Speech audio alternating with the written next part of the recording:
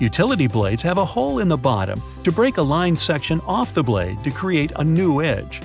Spikes on the top of tube caps are to break the seal when turned around. A shirt's top and bottom buttons are horizontal to keep them buttoned longer through the day. The metal handle at the bottom of a toaster can be taken out and the crumbs cleaned out.